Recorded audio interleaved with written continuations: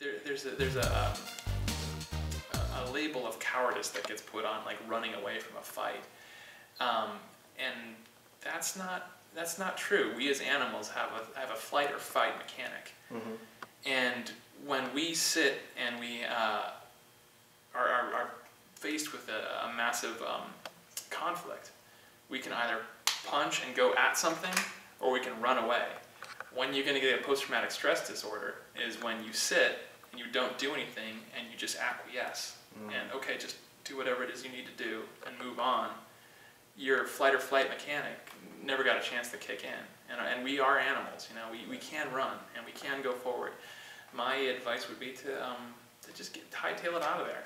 You know, and and use your brain about it. You know, I'd rather use my brain than my fists. All right, ladies and gentlemen, we are still talking with the incomparable Brian Dietzen, uh, co-star of the NCIS. I want to ask you this question. Did you ever think about at any point in your education life dropping out of school? No, I never did. And never, never, never crossed my mind. Why do you think it crosses so many students? Because the dropout numbers are astounding uh, nowadays. Yeah, well, I mean, I think uh, right about now, the the um, the job market. I mean, getting a high school diploma doesn't necessarily mean as much as it used to.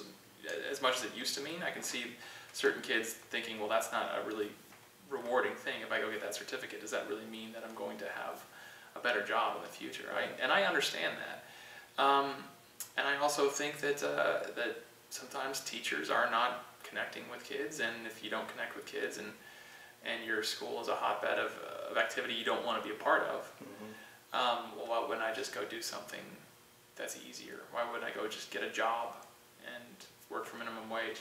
Not really seeing the the long term plan, you know. Yeah, uh, I had an uncle who dropped out of school, and he I think he got his GED 20, 30 years afterwards. Oh, wow. And um, but he, he at the time he dropped out because he he said I would rather just work at the body shop, you know, work at a work at work on cars and make some money, and that's it. It's it's much more rewarding to me than, than school. I never enjoyed school, so um, yeah, I think there's a lot of different reasons that kids drop out. But in my family, I don't think that was even really An option. an option. Yeah, you know, I, I had very I had very very supportive parents when it came to that.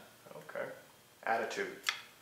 How important or unimportant do you feel it is to the success or failure of a young person, or any person for that matter? Uh, attitude is huge. I mean, the you put on your um, you know your glasses half full glasses, and, and and the world looks a lot better. And I, I think that the world does give back to you what you put out there. And I think that if you put out there that no, no, it's not going to happen. Nope, no, I don't. No, I'm just going to be unhappy. The world's going to reward you with that as well. You know what you what you you get what you give. Okay. Fun question. All right. Got any pet peeves? Yes, I do have a pet peeve. Um, I I have pet peeves with people that have tons of pet peeves. I get I get so like I get so annoyed, and I think I think it's be, it's compounded since the advent of social media, of, of of Facebook and Twitter, and there's so many people that complain nonstop. I mean, if you want to hear complaining, just go on Facebook and just look down your timeline Right. there are a lot of cool pictures of kids, you know, the people with their kids' birthdays, and, and you know, we had this anniversary party and that sort of stuff. But a lot of people that get on there, or get get on their soapbox just to complain about what it is that's going on. I'm thinking, why spend your time doing that? You know, I'm sure you can, you know, complain to your your spouse, your friends, or whomever about, ah, boy, I'm really bummed I got that ticket. Yeah, that's, that's that's too bad. But to go on there and like, you know, type it up and and put it out in the world. I mean, it's just it's just espousing negativity, and I don't think I don't think that that's good for a person's soul to do that every day.